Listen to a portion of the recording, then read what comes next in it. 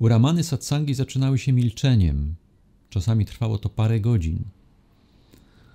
Tak, tak, czasami takie milczenie powoduje, że ludzie jakby zdają sobie sprawę z tego, że rzeczywistość to nie słowa, rzeczywistość to nie myśli. Taka prosta rzeczywistość, taka jaka jest tu i teraz.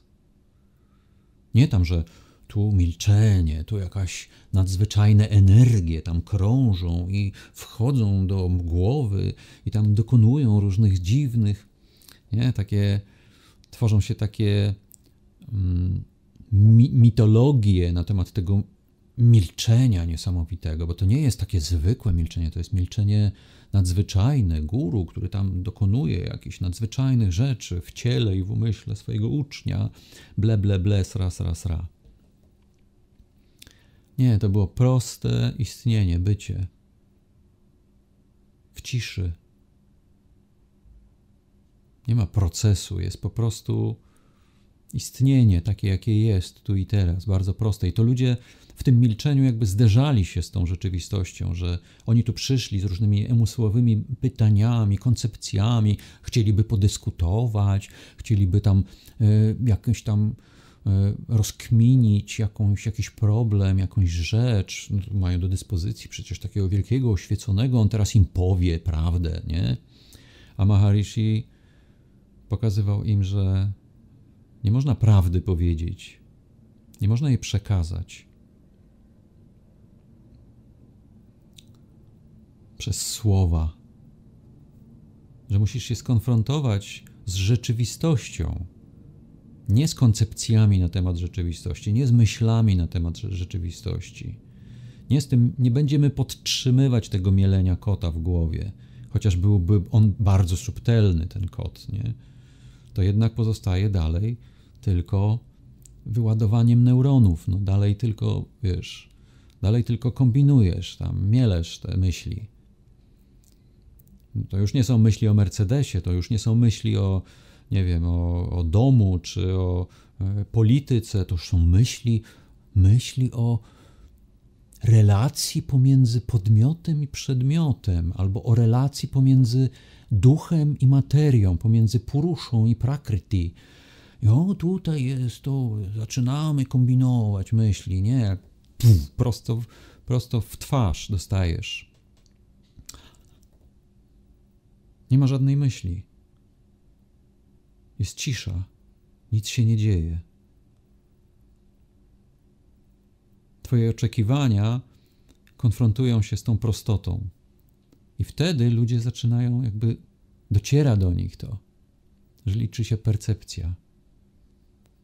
Ten moment. Że to jest życie. To jest życie. A nie kombinowanie na ten temat.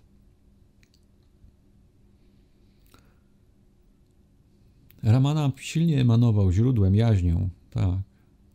Częścią tej emanacji również jest legenda, która towarzyszyła temu, prawda? Bo ci ludzie przychodzili do tego Ramany, bo, bo to był taki wielki święty, nadzwyczajny, tutaj ten, oczekiwali, że to coś, tutaj będzie jakiś fajerwerk, coś niesamowitego, a tu nagle prostota.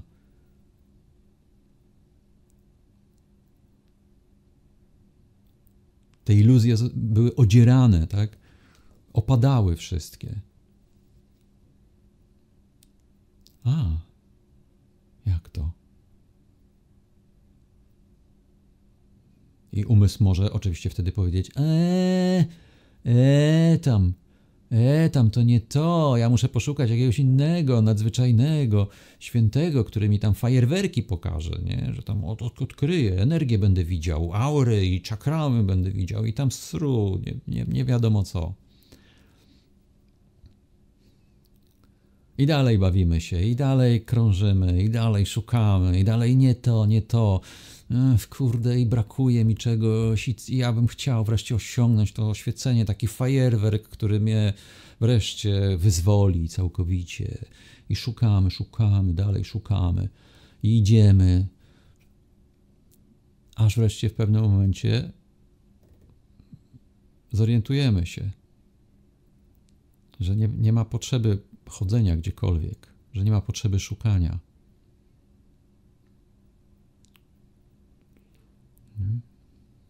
Ale żeby to doświadczyć tego, potrzebna jest ta droga. Potrzebna jest ta droga, żeby się zorientować, że ona była niepotrzebna. Paradoks.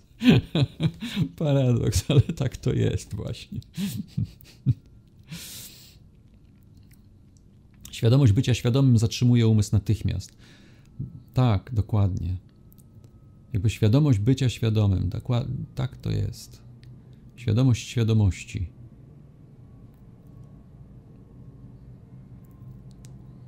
Bez wysiłku. To jest bardzo ważne. Trzeba to zrozumieć, że jeżeli zaczynasz wkładać wysiłek w medytację, to znaczy, że, że to jest umysł, że to jest ego. Nie ma żadnego wysiłku. Żeby być świadomym tu i teraz, nie musisz nic robić. Jesteś świadomy.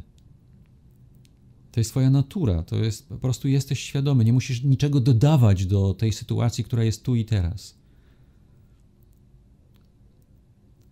Nie musisz jakby stawiać sobie celu, że, że zdarzy się w przyszłości jakaś inna sytuacja, która będzie lepsza, lepsza od tej, która jest tu i teraz. Że będziesz bardziej oświecony, bardziej świadomy. Zobacz, że to jest myśl tylko i wyłącznie o tej przyszłości.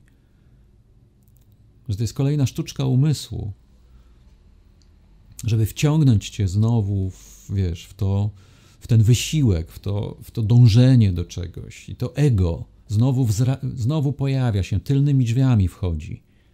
Ego. Zobacz to, że tak jest. I puść. Zobacz i puść. Ja muszę to powiedzieć w dwóch słowach, ale to jest ten sam proces. Mówiłem o tym wcześniej. Zobaczenie tego jest jednocześnie puszczeniem.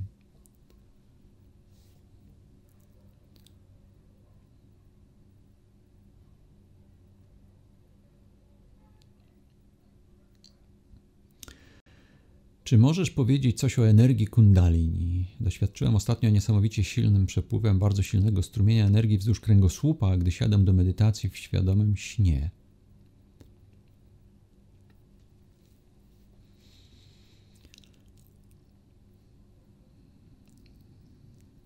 Cóż, można tak powiedzieć, że, że e, różnego rodzaju doświadczenia hmm, są,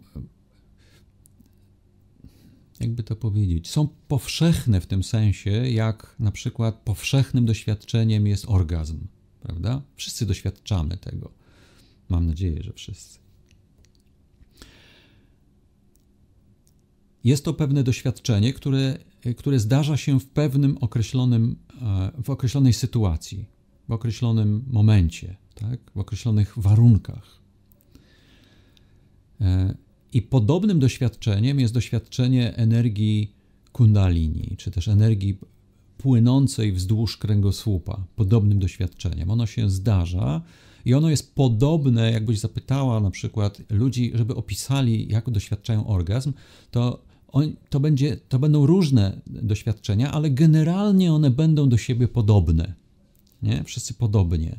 Chociaż inaczej to opisujemy, indywidualne różnice czasami bywają również dosyć znaczne. Niemniej jednak wszystkie te doświadczenia można jakby sprowadzić do tego jednego słowa, tak? jednej koncepcji, jednego pojęcia, które nazywamy orgazmem. I tak samo jest z e, doświadczeniem energii kundalini. Te wszystkie pojęcia, te wszystkie, te wszystkie doświadczenia, które ludzie mają w trakcie medytacji w pewnym momencie, bo umysł staje się na tyle subtelny, czy też uważność staje się, świadomość staje się na tyle subtelna, żeby, żeby uświadomić sobie e, funkcjonowanie ciała na tym poziomie właśnie energetycznym, kiedy opisują to, generalnie to przypomina opis, który w tradycji należy do, do właśnie i jest opisywany jako kundalini. Natomiast ja bym z tym, tutaj nie ma potrzeby, żeby jakoś to kontrolować, w jakiś sposób tym kierować. w tej tradycji, w której ja funkcjonowałem przez długie lata, czyli w Siddha Jodze, mówiło się o tym, że kundalini to nie jest tylko energia, że kundalini to jest także pewna świadomość, pewna mądrość, że to kundalini wie, jak się jakby rozwijać i w jakim kierunku pójść, że umysł tutaj, ego nie może tutaj jej kontrolować. Może mieć iluzję, że może ją kontrolować. Oczywiście są tacy, którzy myślą, że mogą kontrolować kundalini, nawet uważają, że kontrolują kundalini. Ale to jest iluzja. To jest tak, jakby człowiek, który, który płynie oceanem, miał wrażenie, że kontroluje ocean, bo na przykład potrafi wykorzystywać wiatry i do, dopłynąć do jakiegoś miejsca. Zatem on kontroluje ocean. Co za bzdura, nie, nie jest w stanie kontrolować oceanu. Więc, więc ego, umysł nie jest w stanie kontrolować tej, tej, tej, tej energii. Tak jak, nie wiem, ego może myśleć, że będzie w stanie kontrolować biciem serca, nie? Proszę bardzo Zatrzymaj bicie serca. Nie?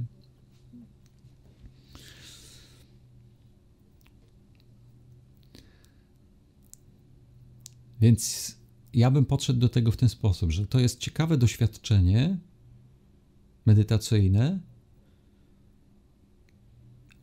które wskazuje jedynie to, że Twoja uważność, Twoja świadomość staje się coraz bardziej subtelna, bo skoro tego doświadczasz, to znaczy, że jesteś na tyle uważna, żeby zacząć doświadczać tych subtelnych doświadczeń, które dla większości ludzi z powodu tego, że są rozproszeni, że są właśnie uwikłani w myślenie i uwikłani całkowicie swoją uwagą w świat zewnętrzny i w swoje emocje i tam różnego rodzaju emocje, tak? Pozytywne i negatywne to ich świadomość nie jest na tyle uważna, żeby to e, zauważyć. Ale to każdy ma. Każdy ma tą energię i, e, i te energie krążą w, w ciele każdego człowieka. I paradoksalnie, jeżeli się nastawisz umysłowo, ego się nastawi na szukanie tych energii, odczuwanie tych energii, wyobrażanie sobie tych energii, to pozostaje dalej na poziomie grubym świadomości, bo to jest tylko wyobraźnia, tylko i wyłącznie myślenie na ten temat, a nie prawdziwe doświadczanie. Tu wchodzi kolejny paradoks. Jeżeli nie będziesz dążyć do tego doświadczenia, to to doświadczenie stanie się Twoim udziałem, ponieważ Twoja świadomość poprzez brak dążenia stanie się uważna. Natomiast jeżeli będziesz dążyć do tego przeczytasz w jakiejś pierdu książce o kundalini, o tym, jak ją kontrolować i tak dalej, i tak dalej, i zaczniesz to sobie kombinować, wyobrażać, to pozostajesz na powierzchni. I tylko, wiesz, taka mentalna masturbacja następuje. O, kurde, tu kundalini mam sobie, ta, to będę teraz wyobrażał, tutaj energię taką, taką, tamtą. Wszystko jest powierzchnia. To wszystko jest płytkie, tego, to, to nie jest realne. to jest tylko zabawa. Po paru latach ci się znudzi, bo stwierdzisz, że i tak z tego nic nie wynika, z, tej, z tego myślenia na ten temat, nie? z tego wyobrażania sobie na ten temat.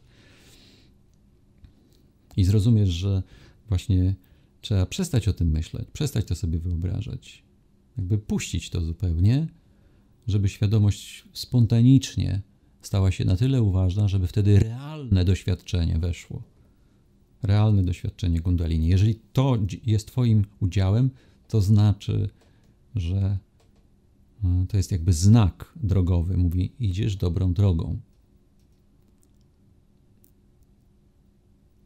Twoja uważność jest coraz bardziej subtelna.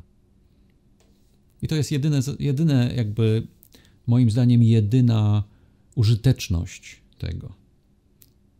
Ludzie tam za bardzo przy, przywiązują do tego wagę i tam traktaty, piszą jakieś tam, rozkminiają te rzeczy, kurczę. Nie wiem po co pisać traktaty, znowu wracać do myśli, znowu wracać. No, jak ktoś się lubi bawić koncepcjami, to, to tak. To duka doprowadza niektórych ludzi do samobójstwa. Tak, Tak, bo to jest ten, ten brak satysfakcji, szczególnie ludzi, którzy są na, jak to Wilber nazywa, poziomie centaura, którzy już doświadczyli, bo człowiek, który ciągle marzy o wielkich pieniądzach, o wielkiej karierze, o wspaniałym życiu, o uwielbieniu tłumów, on cały czas jeszcze ma ten, wiesz, że to mu da tą radość, tą, tą tego, ale jest w, w drive, jest, jest w dążeniu, szuka tego, szuka i, i jest nakręcony tym, tym, tym marzeniem wspaniałym, nie? Ale w pewnym momencie on to realizuje. Jest takie powiedzenie, jak Bóg chce kogoś u, u, ukarać, to realizuje jego marzenia, spełnia jego marzenia. Nie? Rzeczywiście, realizuje, wszystko ma. Ma to uwielbienie tłumów, jest, nie wiem, wielką gwiazdą filmową, ma pieniądze, ma naj, najlepszych kochanków czy kochanki, wspaniałe życie. I nagle dociera do niego, że czegoś mu brak, że nie jest szczęśliwy, pomimo że ma wszystko.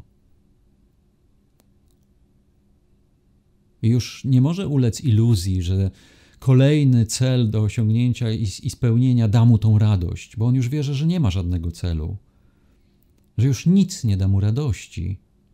I wtedy staje na, na skraju tej rozpaczy egzystencjalnej. Prawda? Życie nie ma sensu.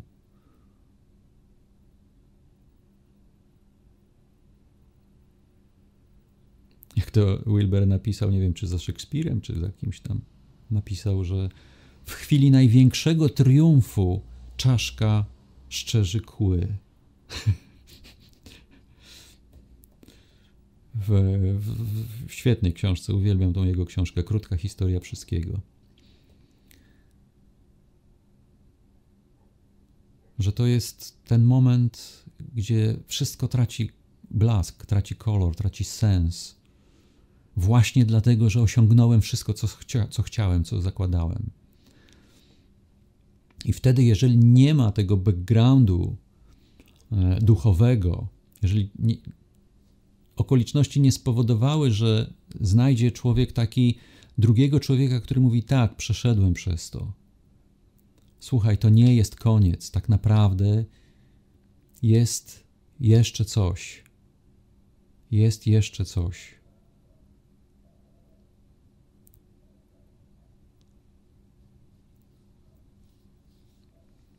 To jeżeli nie spotka takiej osoby i, albo nie, nie, jakby nie, nie, w jego życiu nie, nie pojawi się taka dobra nowina o przebudzeniu, to taka osoba może popełnić samobójstwo. Rzeczywiście.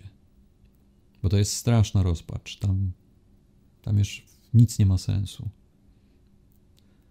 Już żadna iluzja cię nie, nie, nie uwiedzie.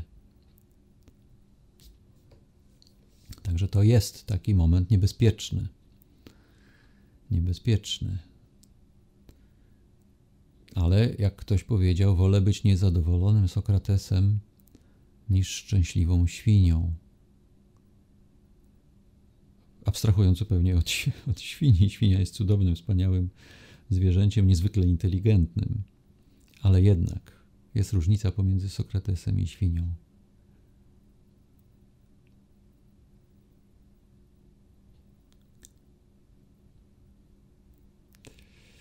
Tak, katuje, dziara i tak dalej, i tak dalej. No,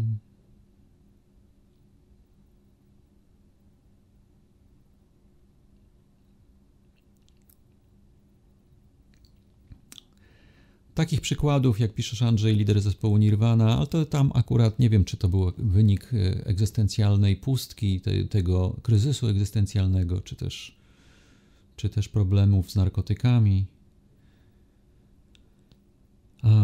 No, w każdym razie jest to trudny moment i, i wtedy oczywiście bo problem polega też na tym, że nasza kultura mówi tylko o terapii, o psychoterapii, prawda? Ale psychoterapeuta tutaj to musi być terapia duchowa, to nie może być psychoterapia. Psychoterapeuci nie, nie, nie, nie, nie wiedzą, czym to jest. Nie są otwarci, bo dlatego, że żeby to e, jakby zrozumieć, trzeba mieć też doświadczenie transcend- tego transpersonalnego stanu. Tu potrzebny jest taki prawdziwy guru. Tu jest potrzebny prawdziwy mistrz duchowy, który powie, na czym to polega. Nie psychoterapia. Psychoterapia może ci pomóc tam, wiesz, w problemach z brakiem na przykład świadomości emocji, tak? Albo może ci pomóc, nie wiem, ze stanami lękowymi jakimiś, mm, wiem, przed wyjściem przed publiczność, albo przed wejściem do windy, albo innymi, innymi tego typu problemami. Ale jeżeli kwestionujesz w ogóle sens życia, to raczej psychoterapeuta ci nie pomoże. Tutaj psychoterapia niewiele ci pomoże. Chyba, że to jest psychoterapia transpersonalna. To już wtedy tak nazwijmy. To nie jest to klasyczna psychoterapia, tylko to jest psychoterapia kogoś, kto, kto jest otwarty na właśnie tą duchową wiedzę, duchowość. Ale to jest takie niemodne trochę, tak? Duchowość to od razu. Mm, mm, to nienaukowe takie, to takie niebezpieczne, bo to się tak jakoś blisko religii, blisko takiego, wiecie, gadania, New Age'u i różnych takich rzeczy, to jest takie podejrzane trochę, nie? Więc psychoterapeuci nie, nie do końca chcą iść w tym kierunku. I trudno jest znaleźć takiego psychoterapeutę, który byłby otwarty na, na taki, na ten poziom.